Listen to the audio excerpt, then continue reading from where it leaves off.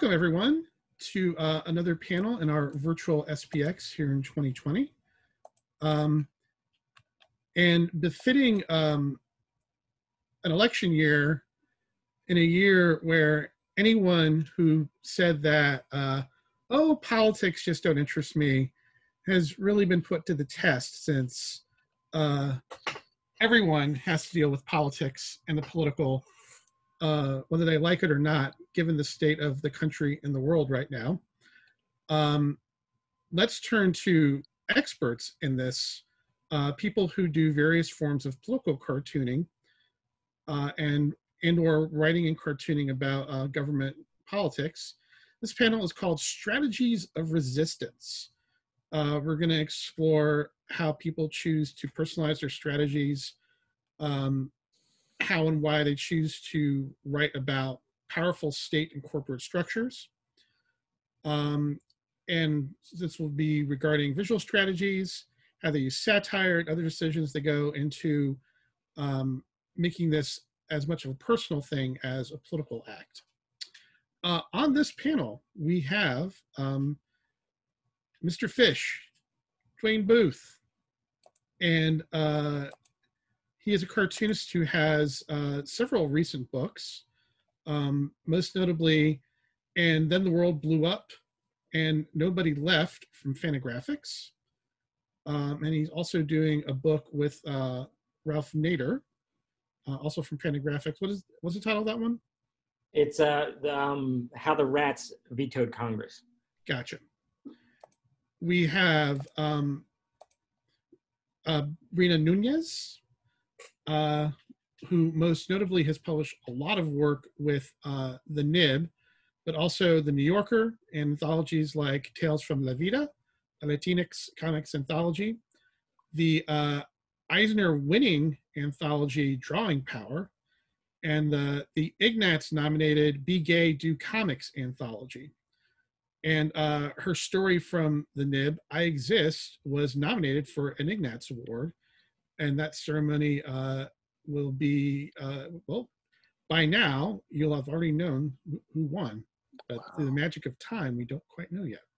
But congratulations on those various nominations and or wins. Thank you. You're welcome. We have uh, R. Sikoryak, um, the celebrated genius style mimic uh, who's delving into historical and uh, technical documents to create unusual visual styles going with them is kind of uh, kind of carved out this uh, unique niche in comics. Uh, his most recent uh, attempt at this is Constitution Comics, or Constitution Illustrated, rather, um, where each he basically publishes the entire Constitution, and um, each page is a different drawing inspired from a different style, which usually he cleverly uh, matches up style with section. Um, and then we have finally uh, Derf, uh, who has uh, most recently best known for his graphic novel uh, My Friend Dahmer, which was also turned into an excellent feature film. Um, but he had years under his belt doing um, political comics, observational comics, um, and in particular his um, his observations of sort of the seedier side of urban life and his grotesque style were quite notable. But um, he, he, also did the graphic novel Trashed, inspired by his career on a garbage truck. Um, but most recently, um, his a book about to be released or released this week, if I'm not mistaken. Released yesterday.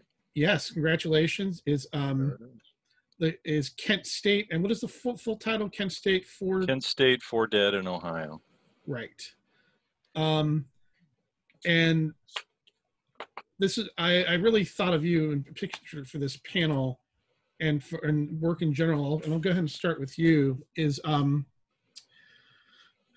of course the kent state shootings were done by if i'm not mistaken um national guard correct on uh complete innocent bystanders at a protest uh, over 40 years ago, 50, 50 years, years ago, ago.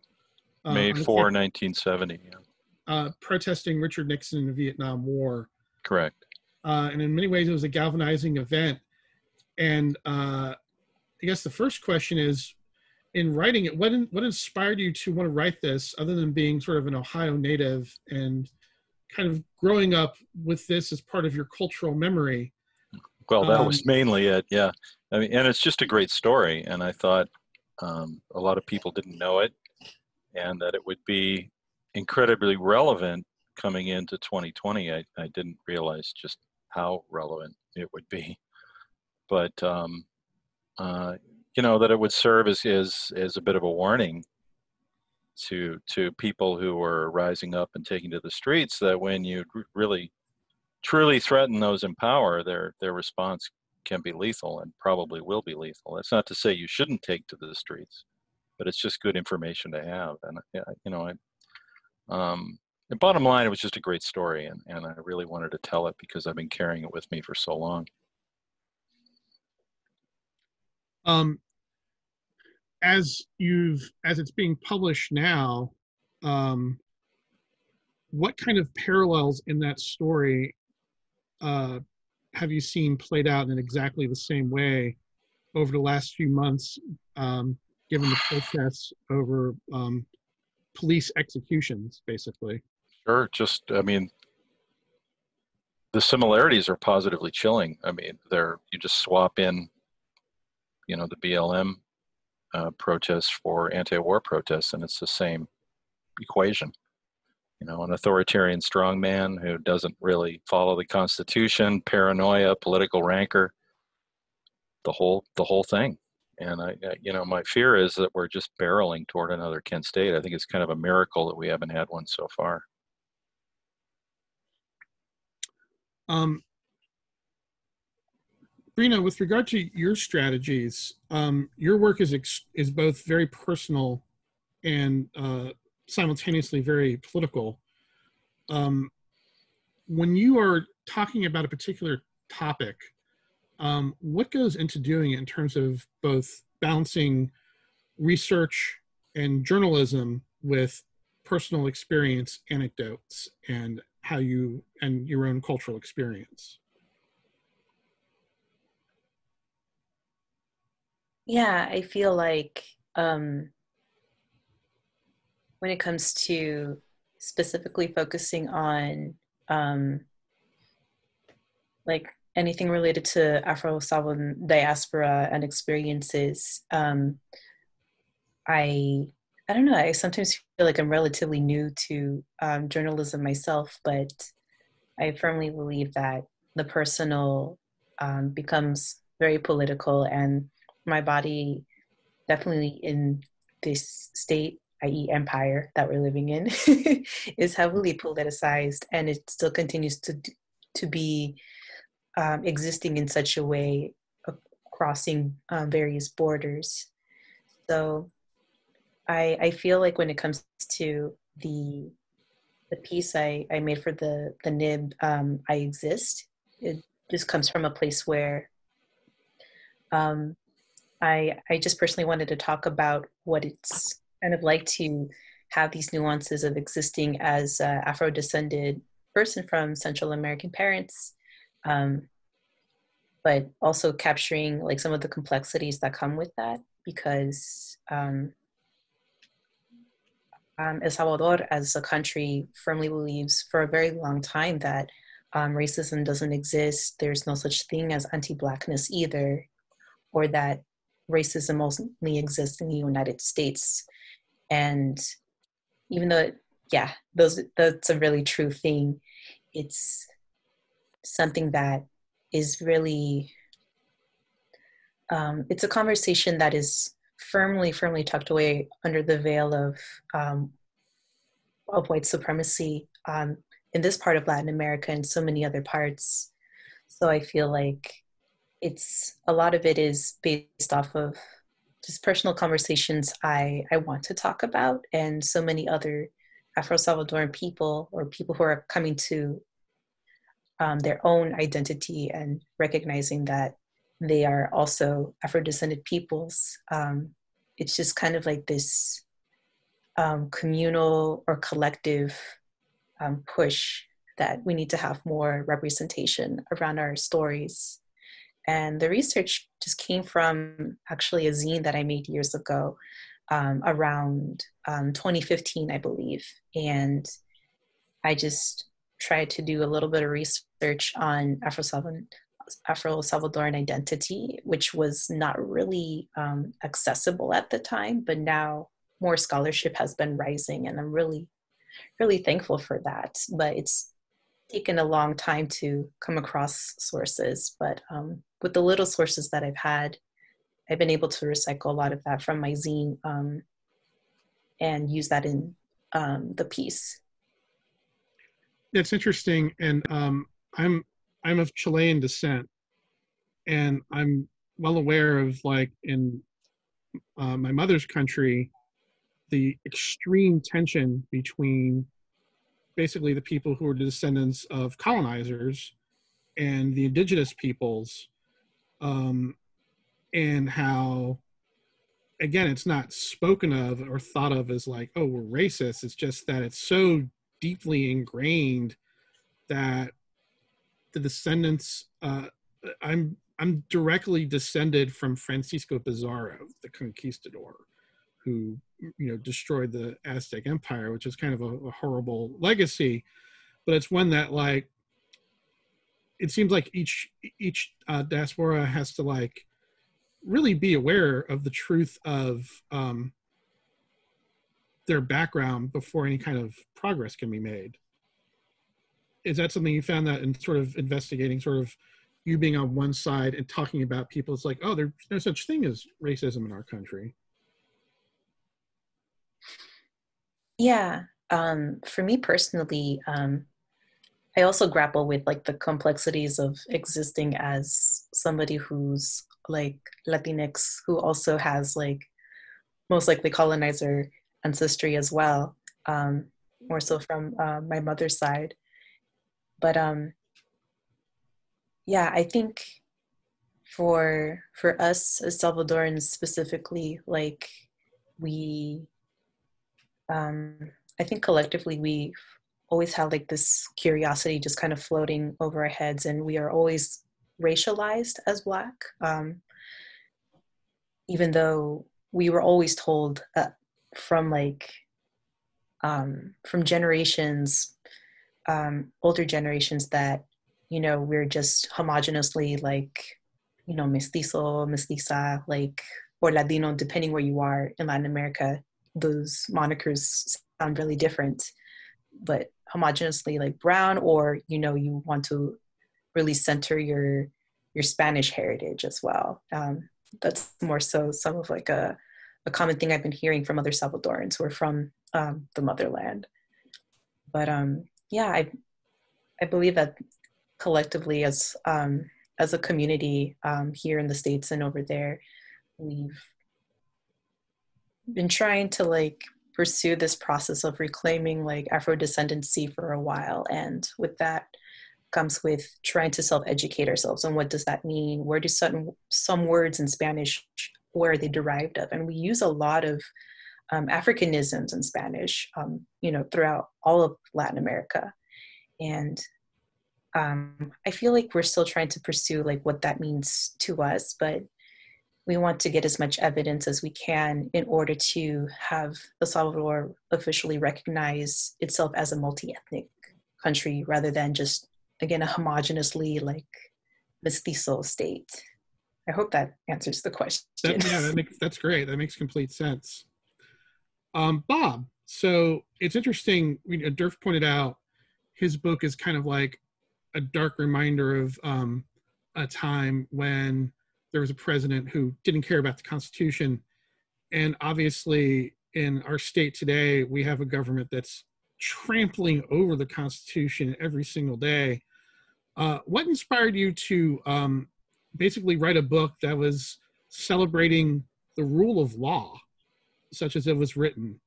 Um, and not only that, but uh, the Constitution, you know, while it talks a lot about rights, also kind of refers to sort of darker periods, a, in, in a darker period in our country with regard to like, um, in the very beginning, Constitution talked a lot about property, slavery, things like that. Right, and I mean, it's so complicated, um, I, and that, there's a lot to unpack in that question. Uh, first of all, the word slavery is not mentioned in the Constitution. Mm-hmm. They talk about other persons. I mean, the degree of, of, of burying the lead uh, in the Constitution is, is astonishing. And um, to sort of grapple with all of that while still trying to make the book that I made was, was like, that's a whole other issue. Um, so obviously, uh, you can imagine why I was interested in making this book right now. Um, I'd made a book about Trump about three years ago, and I didn't want to mention him again, but I wanted to talk about what was happening right now. What's, of course, fascinating about the Constitution is eight years ago, people were saying that president was trampling the Constitution. So there are so many ways of interpreting these words. Um, there's so many ways of grappling with the words.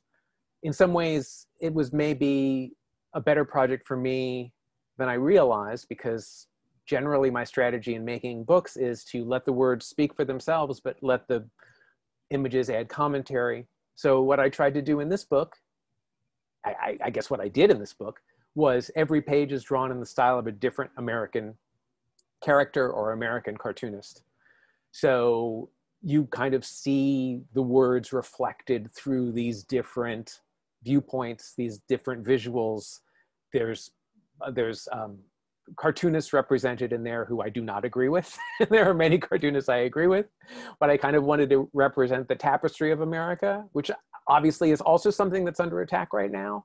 So in that way, maybe it speaks more to the moment because I tried to really represent all of America. And we had a president a while ago who spoke about not being the blue America and the red America, but the United States together. So I guess I was trying to represent sort of that idea of the Constitution. But all the words are the Constitution words, so there's lots to there's lots to unpack or get queasy about as you um, as you read it. Um, so fish, uh, talk about the approaches in your your recent work. In fact, you've you've you've done a lot recently. Um, you know, in uh, in addition to those, you did um, a, a, book about turning famous books into cartoons. Um, I'm interested in kind of your approach, and then the the themes of uh, the more political books that you've done with Fantagraphics. All right. Um, well, generally, the approach is um, I, I, tend to see the work that all of us do on this panel as um, it, it's really its own unique language. Um, and I, I, find that I, feel like it's my job to help preserve and promote how the visual language can can uh, deepen conversations and and make them smarter. Um, and so that's just a, that's just an aside. I, I just find it very very important to just see this as as a language that a lot of people are illiterate to. Um, most of the visual language that people are used to is marketing, um, and that's not what any of us does, I would say. I think that we're uh, we, try to go deeper, and we we don't want to inspire people to react to images and be uncomfortable and be told that the way to relieve that discomfort is through purchase. Um, and I feel like that this language has been hijacked. Um, and so, yeah, so I feel like that that is my job. The political side of it, you know, when you to begin the conversation and ask what we what we how we interact with politics and the politics of now. I tend not even to think about them as politics. I see it as, as this grotesque sort of tribalism. I see it as burlesque. I see it, I, I think to, to call it um, political is, uh, is a, a kind of misdirection that sort of muddies the argument. Because particularly if we're talking about how we engage in this, how we're supposed to engage in this country, which is supposed to be we the people, uh, yet we are just where you can feel it in the air. People are so frustrated. The only time they get the opportunity to feel like they're exercising their their political voice is by voting. It's bullshit. I mean, I think that it's that that's problematic because democracy is supposed to be is supposed to be happening all the time. and I would even argue if it were happening all the time, we wouldn't have the, the two candidates that we have as our only choices right now. So my great frustration with the work that I do is just trying to to um, to prove to people to pull them out of this back and forth of sort of like a, a, a debate between people who are, are rah rah rahing their favorite sports team, getting angry at the other side for having a different uniform.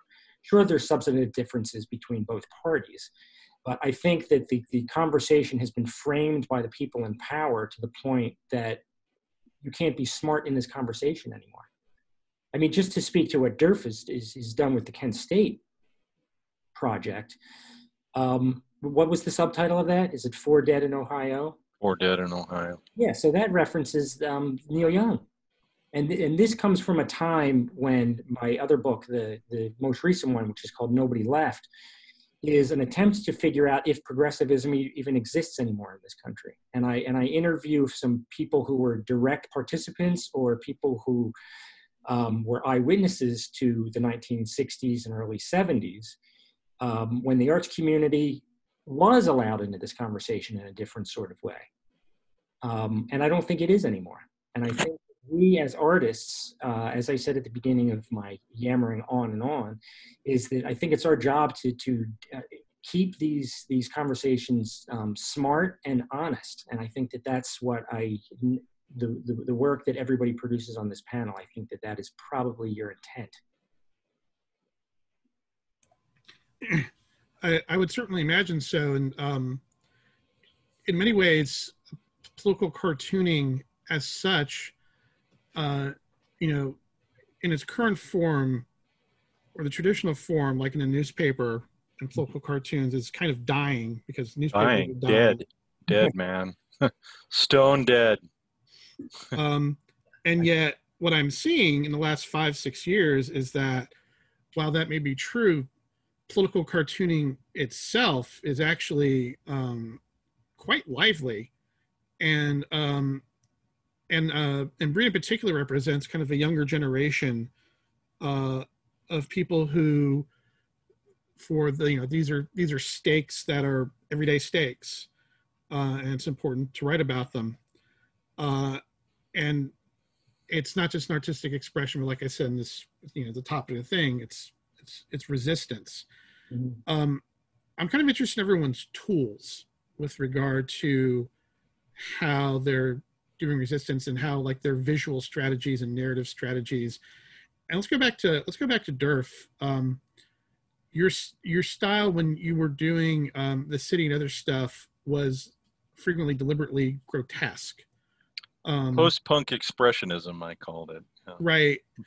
Talk about your shift between that style and what I'm doing um, now. Yeah, and which is there's still there's still vestiges in it, and you could see it in your other work um, but there's been an evolution. Yeah, hopefully a good evolution. Um, you, you got to understand what the purpose of, and you know, Fish can probably agree with this, but when you're working for those free weeklies that I used to work for when I did this stuff, um, you know, it's a casual relationship that the reader has with the content because everybody's just picking it up. It's a free paper.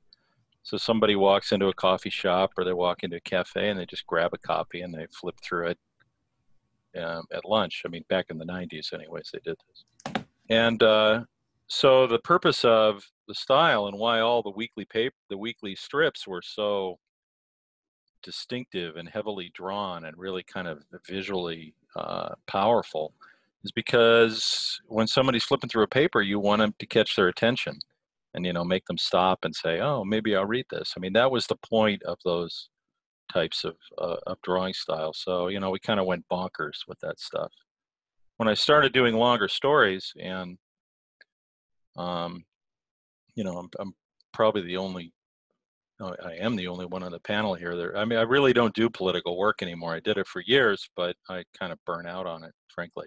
I fought the good fight, and you know, I kind of hung it up.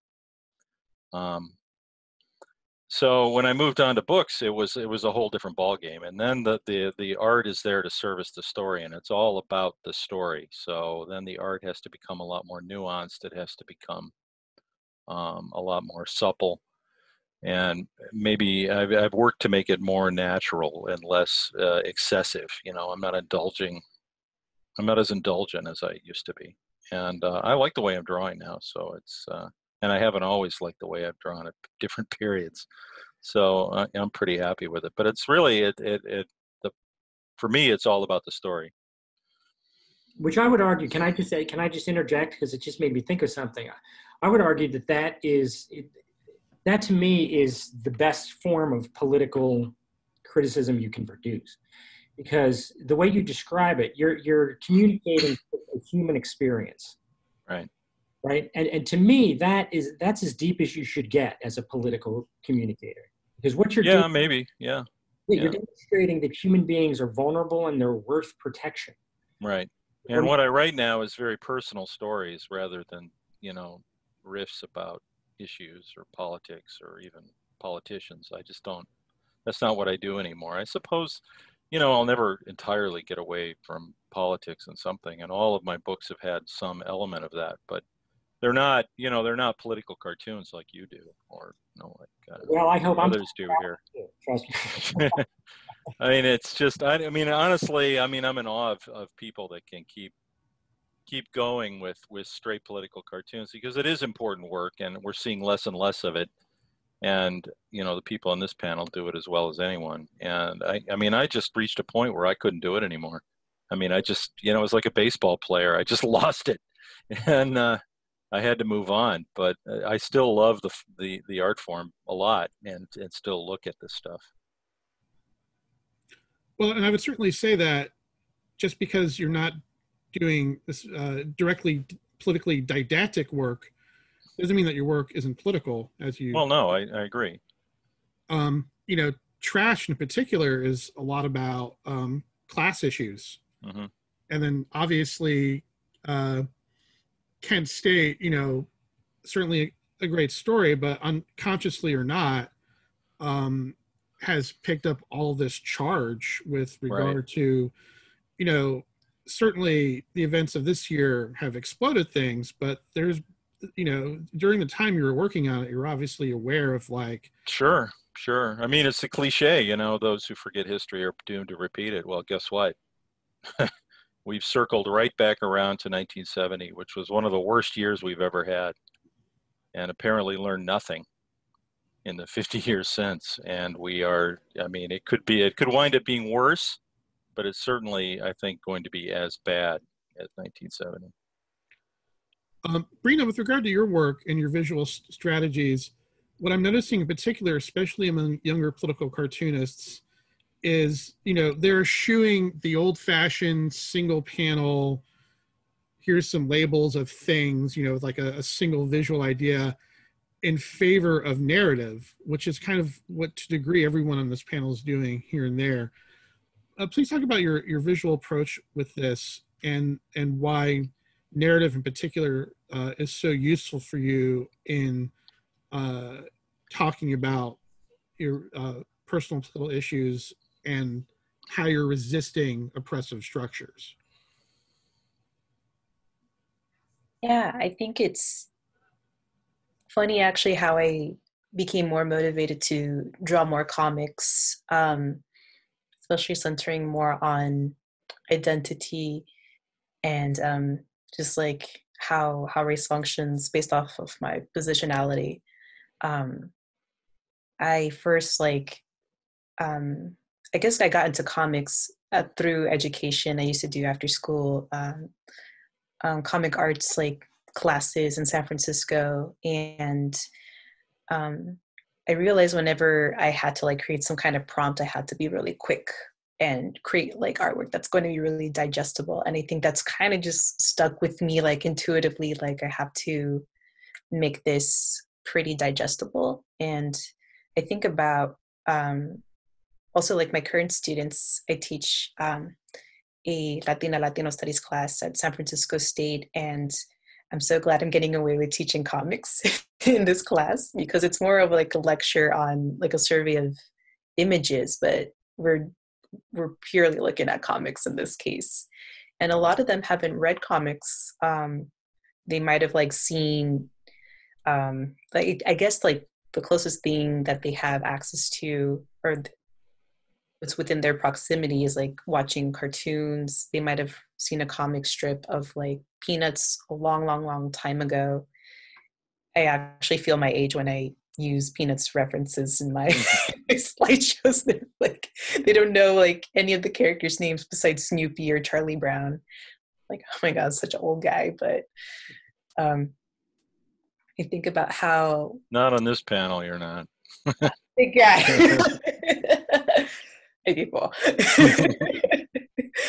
yeah. Um I think about how am I going to disseminate information that's going to be easy for folks to understand um, for various ages, um, since the age range is also really diverse as well um, in these classes.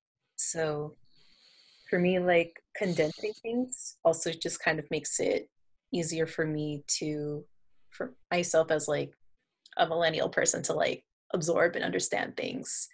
And because I'm also in a really interesting time where I have to teach via Zoom, we can't do like what like two hour lectures like from beginning to end. I think what's also challenging us, especially in the age of like information, we have to figure out ways that are going to make the artwork um I don't want to say attractive, but um I guess engaging. Like you want to like be inspired or you want to stick with the story. So a lot of um, um, my cartooning style, I feel like happens to be really um, inspired by like anime, manga, even though those are long form, like forms of storytelling. Um, but I also think about how um, this is going to be such a silly reference, like how like Hello Kitty also inspires me, like just making something I don't want to say just like adorable or cute, but just something, um, I guess, inviting. That's my cartooning style has been kind of called that before. Um, but yeah, I think it stems from again being an educator, working with youngsters, and trying to figure out how can I make comics as a medium like understandable for them as much as it would be for somebody else who's older who has never read a comic before. Do you does your approach change when you do work for the Nib? Yeah, definitely. I feel like um, I get to still recycle some of these techniques that I used from teaching, but um, I I get to just I guess pour, um, put a little bit more of my personal style um, yeah i'm trying to think how how distinct that is versus things i've used in the classroom but i guess um, it's kind of grown where i feel like i i kind of come to my own sort of adult cartooning style i don't know if that makes any sense Sure. yeah Every But- cartoonist evolves. You know, as, as Derf said, he completely changed his style. Well, not every cartoonist evolves. No, that's not. You can't really say that. Many cartoonists, especially good yes, ones, many cartoonists evolve. But, one, one's worth paying attention to usually. mm, Um, definitely sometimes i think i'm devolving Well, it's interesting because you hit on um, when you when you reference Hello Kitty, that wasn't an all absurd reference, because the striking thing about that particular line is the simplicity and iconic nature of the image, where it's like um, it's like looking at Ernie Bushmiller's old Nancy strip, and what someone once you know wrote. It's it's easier to read it than to not read it once you've seen it. It's like you've got to, your eye is drawn to it and you have to go all the way through. And um, the same is true with Hello Kitty. It's like it draws your eye and makes you look at it because of the way it's structured. And I feel that that's definitely true of, of, of your art is that um, it, it, you're drawn in initially because of the visuals and you're carried along in um, with the narrative. Um, now, now, Bob, you're a completely anomalous case because um, for as long as I've followed your career, your entire career has been based on um, finding ways to repurpose and mimic other people's art styles to create um, sort of a new, you know, you're the you're the original um, you're the original mashup guy. Hmm. Um, before that was even concept and music, you were doing things with art and mixing uh, comics art slash you know low art with literature. Um, what kind of drew you into a different direction career wise in terms of the kind of things you've written about? Because you're not really doing so much about um, literature anymore, and your work has become more distinctly political, not just with it with Constitution Illustrated and the Trump book, but even Terms and Conditions. I thought was um, a, a sneakily political work as well in writing about uh, you know the uh, the uh, it was the um, It's the Apple iTunes. iTunes agreement. the iTunes agreement and sort of like um, forcing people to read something that they would never want to read, but it was legally binding. Well, it's funny that twice in, in, in talking about my work, you've said that I've written of these things, and I famously have not written any of them. True. I've illustrated them. Um, the iTunes agreement is the literal text of the terms and conditions as it existed when I made the book in 2016. They've of course, of course, updated it, and the Constitution is of course the complete text of the of the of the document as it exists. I feel like that there's a continuation from what I was doing earlier, but I do think there is a kind of evolution, as you were saying earlier. Hopefully, I'm one of those cartoonists who's evolved in a certain way, but I think that um, my impulse is still to sort of take the culture around us and and kind of re contextualize it, reinvent it, make people look at it differently. I really appreciated what Breena was saying before about making work that was I forget if you said appealing or accessible, but I think those are terms that I think about a lot and I think are very important. Um, I, I've, I've tried really hard in all my work to sort of let people find a way in because comics can be daunting for people who haven't read them before. So I try to choose styles that people are familiar with um, as a way to make them look at what I'm delivering. And what I'm delivering is is texts or or stories for, that other people have have invented and have lasted through time, even if it's only for 10 years, like the iTunes agreement. But um, you know, I, I, I try to work uh, with those texts. So th- I think there's a continuum that way with what I was doing before. But um, I think partially the way comics has evolved has made me sort of think more in terms of long form comics, uh, which is not something I was doing before. And also, obviously, the situation in the world right now um, made me move more toward um, the political realm. I, I don't know what I'll do next. Um, I, I, you know, I pray I won't have to do anything drastic, depending what happens next year. I mean, I can't imagine things are going to get better, but they might get better. So, you know, time will tell. we'll be Seeing Apocalypse Illustrated from R. Sikoryak, There you go. That's perfect. the last burning vestiges of the, of the world. Yes, I hopefully you won't see that. Uh, so, uh, Fish, I'm interested in your uh, your visual style. Um, I noticed there seems uh, for a lot of stuff you seems very brush heavy, um, very very detailed, and I'm interested in uh, when you have when you have your different projects. Um, what visual approach do you like to use uh, in order to carry it out? Well, it, it always depends on the subject um, and the the hyper realism stuff that that you're referring to is uh, it's just a technique to either demonstrate the seriousness seriousness with which I'm trying to engage in the subject. Um, like if there's if there's some reason to show uh, something grotesque, um, I will take the six, seven, eight hours, depending, to really make it visually grotesque. Uh, there's, in fact, there's a there's a drawing that I did two days ago uh, that is called um, America's Angriest Inch.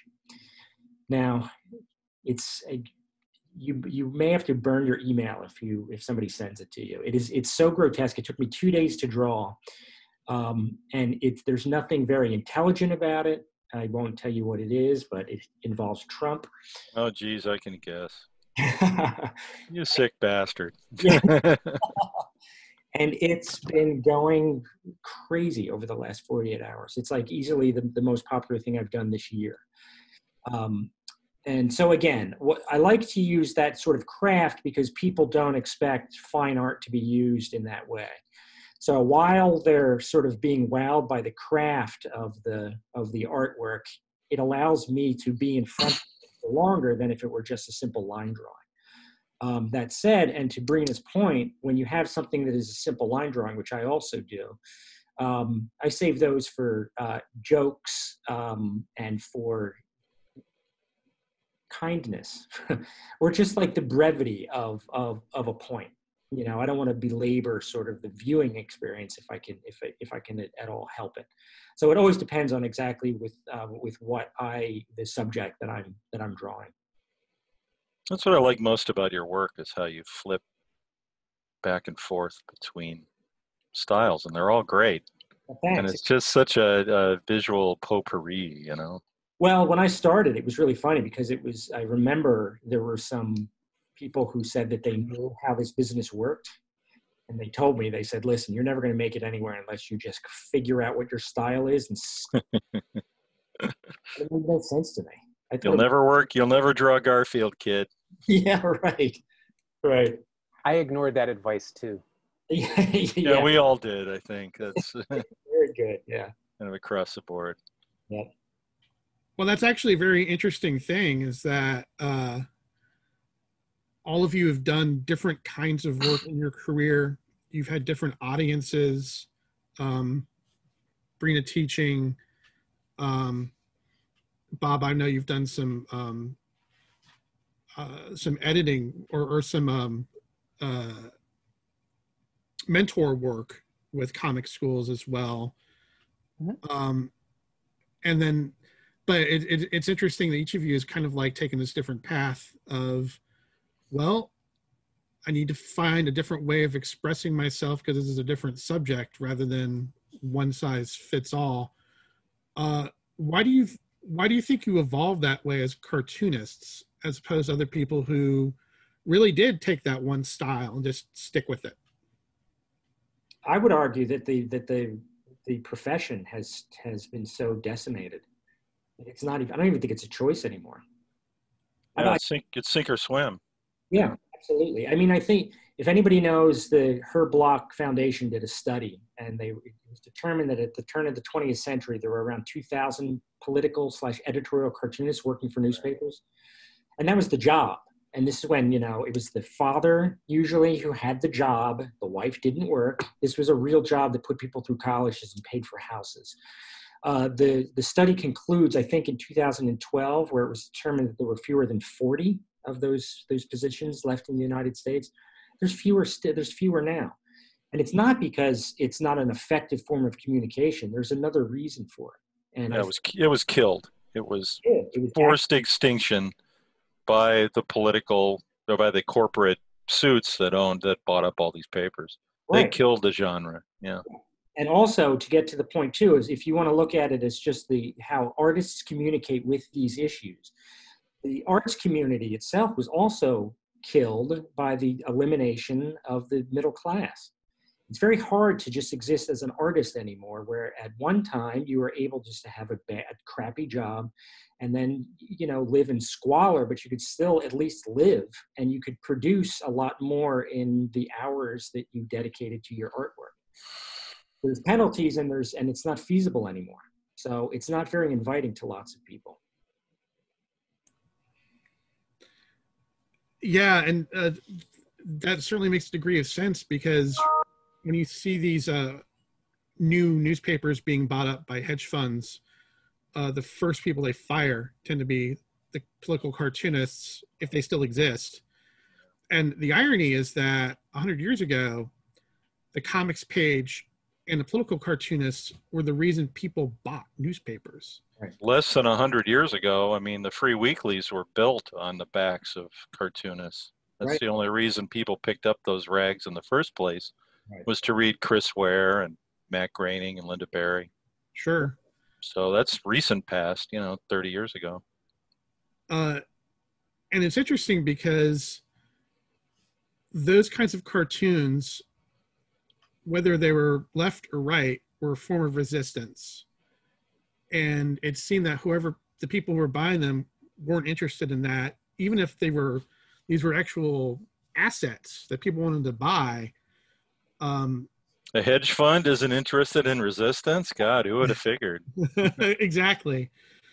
Well, um, make a mistake though too. I would. It's a. It's a, it's an important point to make that if we're going to be talking about what was happening to the alt weeklies, and we even go back a, a couple steps uh, further back in time and just look at the comics underground movement. Remember that at one time it was not the debate wasn't about you know which side of the aisle you were on. It was it was criticizing the so-called winners in the society and how the losers were, were suffering at the hands of the elite. So the debate wasn't so much Democrat versus Republican. It was about the people who were being brutal and the people who were suffering as a result of the brutality. And I think that that again, I, I, I think that that's a smarter way to engage with all with with so-called politics now because I think that that is the most truthful way to to um, to to alter our course. Um, as we sort of wind down the panel, I'd like to ask, what do you see your, for yourself is your responsibility as a cartoonist in speaking what you see as, you know, truth to power to talk about um, the way people are oppressed? And how do you see yourself continuing to do that as you further in your career? And we can start with Derf and go around. Oh, thanks. Um, this better be good. Uh, yeah, man, I'm drawing a blank. Um, you know, I, I'm, I don't know that I'm thinking that way anymore. You know, honestly, um, I'm not on a crusade. I mean, I, I think if I do good, provocative work, no matter what it is, that good things will happen, and good things will happen for you know the people. Uh, my readers will enjoy it, and you know, good things will happen to me. But I, you know, as far as you know, charging the ramparts. Um, no, I'm not. I'm not. Uh, I don't think that's my role anymore. Um, I'll leave that to people like Fish. Breena, how about you?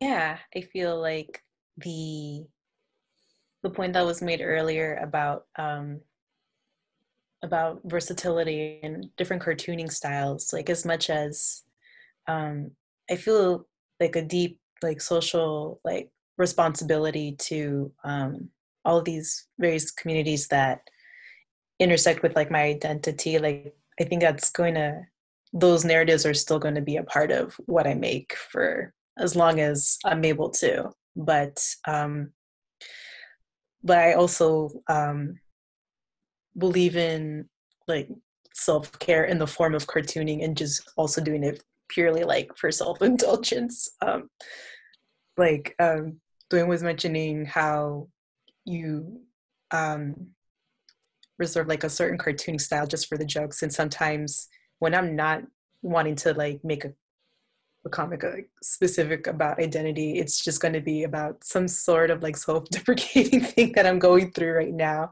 because i also believe that you know this is another reason why we're we're in this because this is like the best way we can communicate um, all of these motions that we're going through. Bob,